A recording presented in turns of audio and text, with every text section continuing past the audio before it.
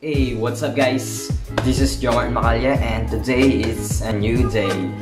So keep safe. Anyway, in this video I'm going to share my final plate in Visual Techniques 1 entitled Applied Techniques of Colored Media on Architectural Presentation. So as always, mayroon na naman requirements na kailangan gawin in this plate which are the shading, shadows, textures, vegetation, human figures, and clouds. So I guess all the skills, knowledge, and ideas and learnings that we we obtained in the past plates are we can apply to this final plate. So yun. So almost same lang din to sa midterm plate namin. Colored lang siya and may nadagdag at nabawas sa requirements. Share ko lang muna yung process, the rendering, time-lapse of my plate. So please subscribe and click the notification bell. So, ano pa? Tara na, let's go!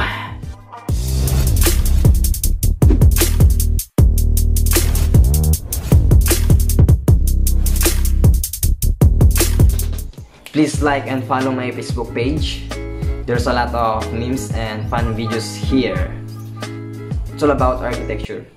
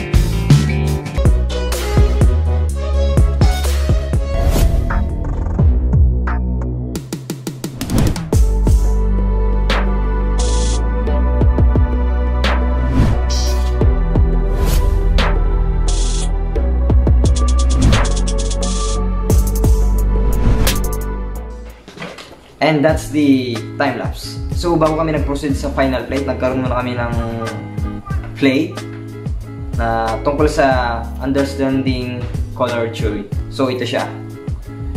Then after after nito, nagkaroon din kami ng isang plate, the atmospheric perspective. So, andun siya. Ayoko nang kunin. And this is the final plate, final examination in Visual Techniques 1. So, yan nakasurvive. So, yung ginamit ko dito guys is, of course, graphite pencil, pen, colored pencil. So guys, makikita nyo dito yung human figures. Yan. And of course, vegetation, textures, anong tawag, bricks, concrete, stone, tiles, and that's it.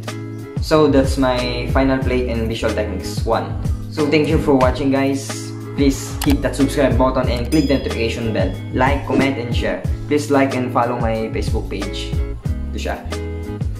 So, see you in the next video. Happy New Year. Peace, love.